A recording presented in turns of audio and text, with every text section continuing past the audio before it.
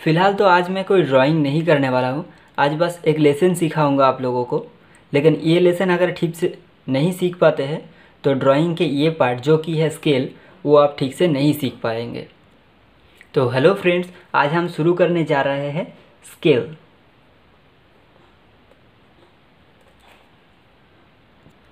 scale plays an important role in engineering graphics in engineering drawing तो basically scale के लिए basics है, क्या रिक्वायरमेंट है, कितनी चीज़ों को मालूम होना ज़रूरी है, आज हम उसी के बारे में बात करेंगे।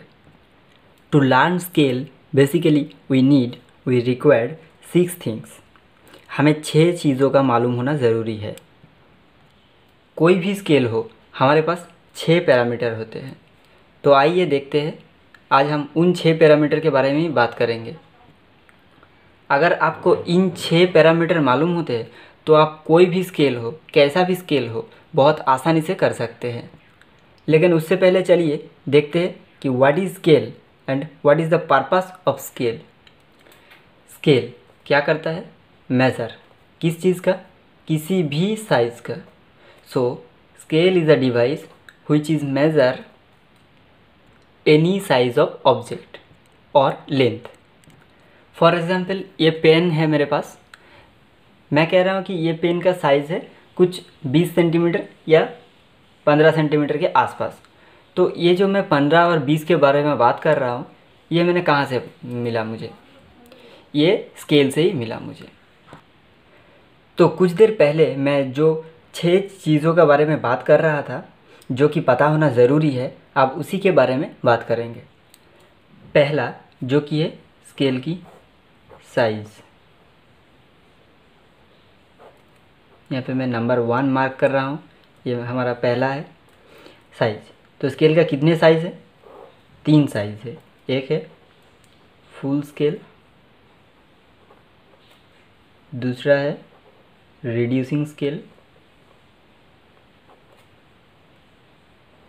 और तीसरा जो है वो है इनलार्जिंग स्केल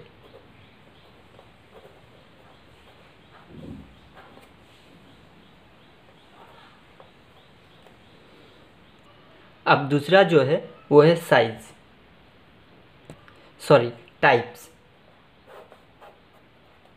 मैं यहाँ पर लिख रहा हूँ टाइप्स स्केल की कितने टाइप्स होते हैं? पाँच टाइप्स होते हैं. पहला क्या है? प्लेन स्केल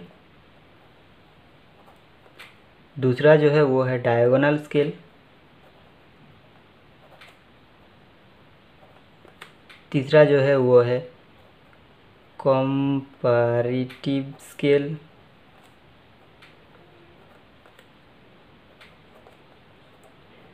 अब है vernier scale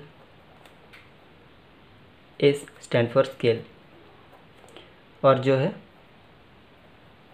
scale of chords यह है हमारा फाइव टाइप्स ऑफ़ स्केल तो फिर से एक बार देख लीजिए स्केल का पहला जो चीज़ है वो है साइज़ और पहला साइज़ है फुल स्केल साइज़ दूसरा है रिड्यूसिंग स्केल तीसरा है एनलार्जिंग स्केल और दूसरा क्या है? Types plain scale diagonal scale comparative scale vernier scale scale of chords full scale नाम सुन के ही समझ पा रहे होंगे कि फुल स्केल से हम लोग जितना भी ड्राइंग बनाएँगे वो एक्चुअल लेंथ के बराबर होंगे। मतलब हमारा एक्चुअल लेंथ जितना होगा, उसी, उसके ही हिसाब से हम लोग ड्राइंग करेंगे। आप चलते हैं रिड्यूसिंग स्केल और इनलार्जिंग स्केल पे। कुछ पोजीशंस आएँगे कि कुछ ऑब्जेक्ट्स की साइज़ को रिड्यूस और इनलार्ज करना पड़ता है। मान लीजिए कि कोई चीज़ है जो कि मतलब पचास फीट के आसपास तो हम लोग क्या एक ड्राइंग शीट में वो पचास फीट का ड्राइंग बना सकते, नहीं बना सकते। तब हम क्या करेंगे? उसको रिड्यूस कर देंगे। और अगर हमारे पास बहुत छोटा एक माप है, मान लीजिए कि कोई वॉच का कुछ हम हम लोगों को ड्राइंग करना है, तब क्या उतना छोटा माप हम लोग ड्राइंग के बना सकते? नहीं बना सकते। तो क्या करेंगे?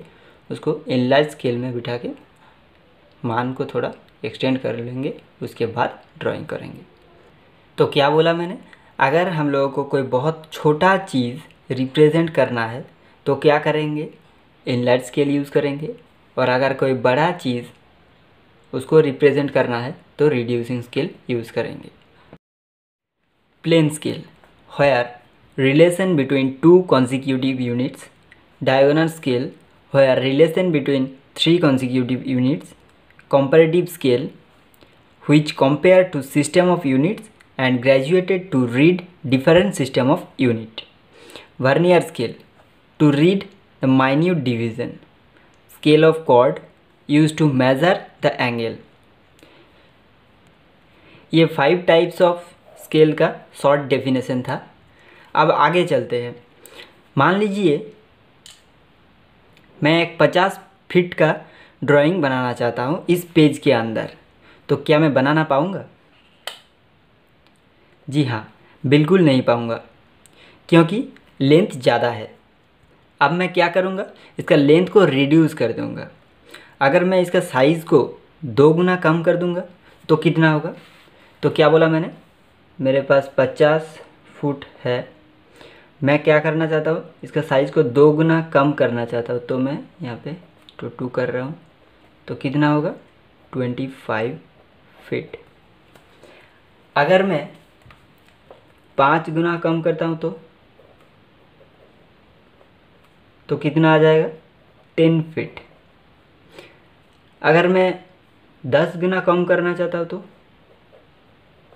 टेन टाइम्स कम कर रहा हूँ यहाँ पे तो आ गया मेरा फाइव फिट अगर मैं पच्चीस ट्वेंटी फाइव टाइम्स कम करना चाहता हूँ तो? यहाँ पे आ रहा है टू फिट तो देखिए, उन छः चीज़ों के बारे में जो बात कर रहा था मैं, उसमें से मैं यहाँ पे एक और दो बता चुका हूँ। अब मैं बाकी के चार जो हैं, उसके बारे में बात करने जा रहा हूँ। बाकी के जो चार है, उसको समझने के लिए ये इक्वेशन बहुत काम आएगा हमारा, ये इक्वेशंस पचास फुट, ये क्या है हमारा? ये है हमारा एक्चुअल लेंथ मैं यहाँ पे लिख रहा हूँ एक्चुअल लेंथ ठीक है? ये हमारा एक्चुअल लेंथ यही एक्चुअल लेंथ है हमारा इनमें, इन छः चीज़ों में से तीसरा। यहाँ पे मैं नंबरिंग कर रहा हूँ, तीसरा। ठीक है? और अभी यहाँ पे मैं ट्वेंटी फाइव टाइम्स कम करने से जो लेंथ मिला मुझे अल्टीमेटली वो क्या है? टू फीट तो ये टू फीट क्या है? यह है हमारा length of drawing L E N G T H of drawing इसको हम बाद में एल ओ डी बोलेंगे। ये हमारा हो गया इन छः चीज़ों में से चौथा। यहाँ पे मैं नंबरिंग कर दिया, चार। छः चीज़ों में से हम लोगों को एक, दो, तीन, चार यहाँ पे मिल चुका है। बाकी बचा हुआ है पाँच और छः। तो अब थोड़ा गौर से देखिए। ये जो वन बाई ट्वेंटी फाइव, ये क्या है? मैं यहाँ पे लिख रहा हूँ वन बाई ट्वेंटी फाइव। क्या है ये?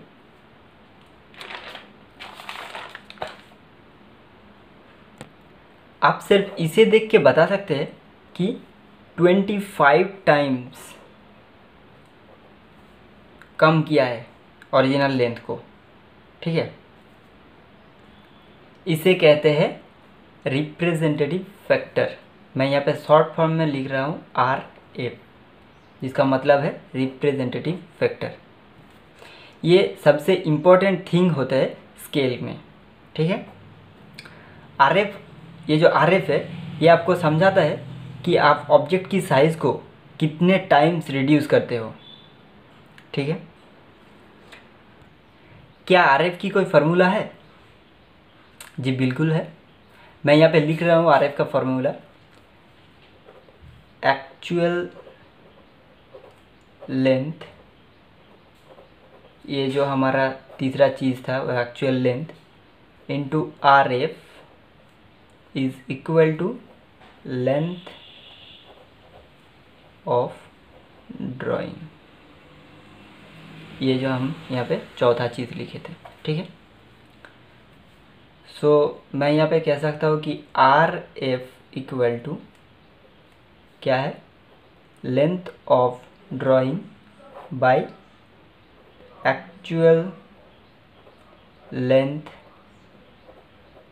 of drawing और आप यहाँ पे सिर्फ़ एक्चुअल लेंथ भी लिख सकते हैं, ठीक है? तो ये बेसिकली ये क्या है? ये जो मैंने यहाँ पे लिखा है R F is equal to length of drawing by actual length ये एक रेशियो है। ये एक रेशियो ये जो रेशियो है R F is equal to length of drawing by actual length यही है हमारा ये पांचवा चीज़। यहाँ पे मैं नंबरिंग कर रहा हूँ, पाँच। ठीक है? मैंने सबसे पहले स्केल की तीन साइज़ के बारे में बात किया था। क्या क्या था वो तीन साइज़ पहला वाला था full scale S stand for scale दूसरा था रिड्यूसिंग स्केल मैं यहाँ पे आर एस लिख रहा हूँ। और तीसरा था इनलार्जिंग स्केल यहाँ पे ई एस लिख रहा हूँ। तो अब हम लोगों को देखना है कि फुल स्केल में आर एफ़ कितना है और रिड्यूसिंग स्केल में आर एफ़ कितना है। और इनलार्जिंग स्केल में आर एफ़ कितना है? यहाँ पे फुल स्केल में आर एफ़ का जो रेशियो होगा मतलब length of drawing by actual length उसका जो रेशियो होगा, वो इक्वल टू वन होगा। मतलब वन बाई वन मैं यहाँ पे R F equal to one लिख रहा हूँ। ठीक है? अब रिड्यूसिंग स्केल में आर एफ़ कितना होगा? रिड्यूसिंग स्केल में ये जो रेशियो है, वो रेशियो लेस देन वन होगा। और एनलार्जिंग स्केल में आर एफ़ का जो रेशियो है, वो ग्रेटर देन वन होगा। अब छठे नंबर जो चीज़ है, वो है यूनिट्स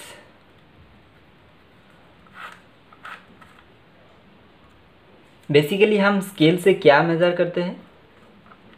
लेंथ लेंथ का यूनिट क्या होता है? किलोमीटर हो सकता है hectometre decametre metre decimetre centimetre और मिलीमीटर ये सब होता है।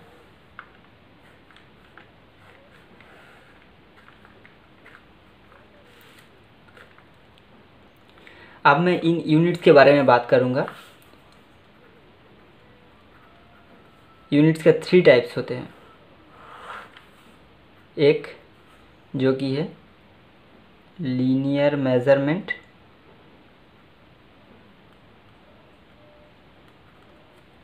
दूसरा जो है स्क्वायर मेज़रमेंट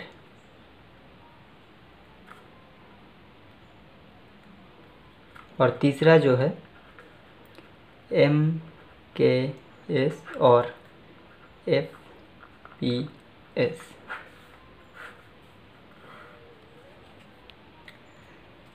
इन तीन चीज़ों के हर एक के बारे में मैं छः चीज़ बताऊँगा। पहले लीनियर मेज़रमेंट पे चलते हैं। यहाँ पे पहला, ten M M is equal to one centimetre. Ten centimetre is equal to one decametre. Sorry sir decimetre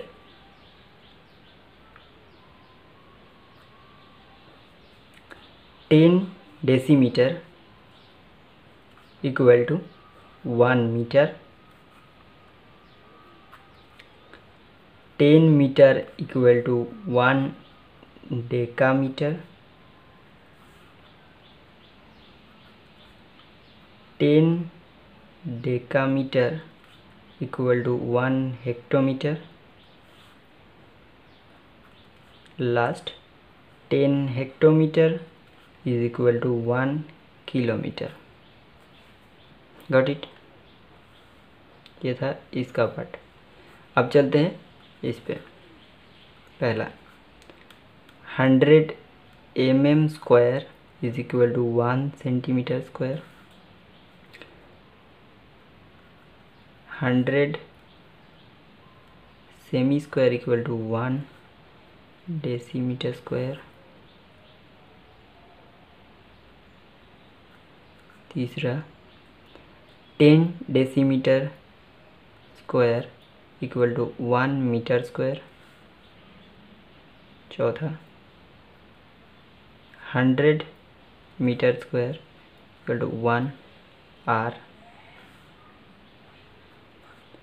hundred are is equal to one hectometre.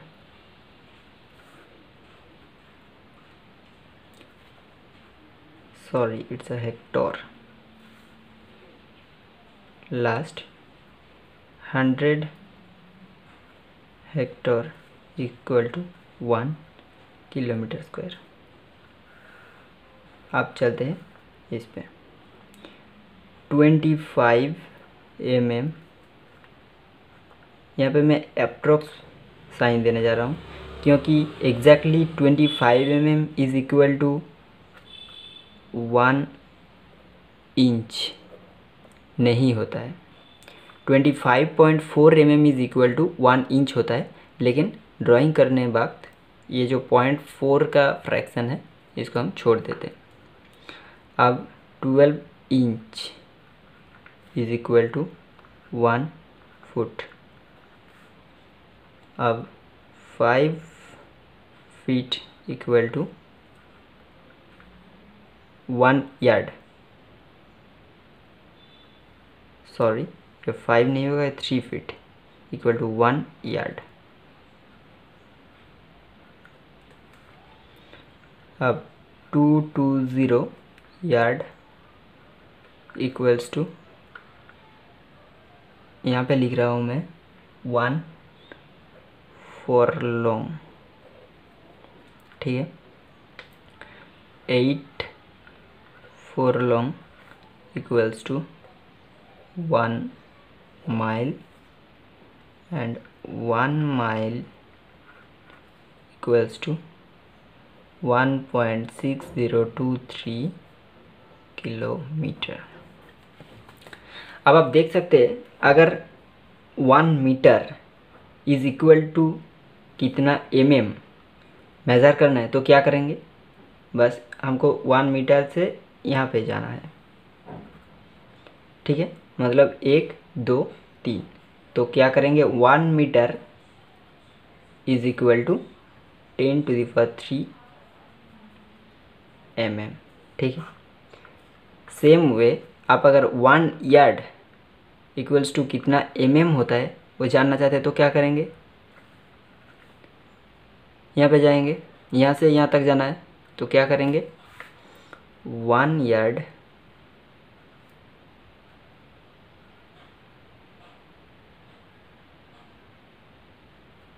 Equals to क्या क्या है यहाँ पे? ट्वेंटी फाइव है ट्वेल्व है इंटू थ्री इतना M M ठीक है? सेम वे अगर आपको वन किलोमीटर इक्वल टू कितना एम एम जानना है तो क्या करेंगे? सेम वे एक, दो, तीन, चार, पाँच छः मतलब one kilometre equals to ten to the power six millimetre ठीक है? एंड लास्ट में मैं आपको एक इक्वेशन बताने जा रहा हूँ, जो कि मैं यहाँ पे लिख रहा हूँ। Length of is equal to R F multiply by maximum length required to be measure in mm. Obviously ये जो मैक्सिमम लेंथ होगा, ये एम mm पे रहेगा। ठीक है? तो दोस्तों, आज के लिए इतना ही। मिलते हैं अगले वीडियो पे एक नया ड्राइंग के साथ। अगर आप लोगों को मेरे साथ कांटेक्ट करना है तो डिस्क्रिप्शन में मेरा फेसबुक और इंस्टाग्राम का लिंक दिया हुआ है। आप वहाँ से मेरे साथ कांटेक्ट कर सकते हैं।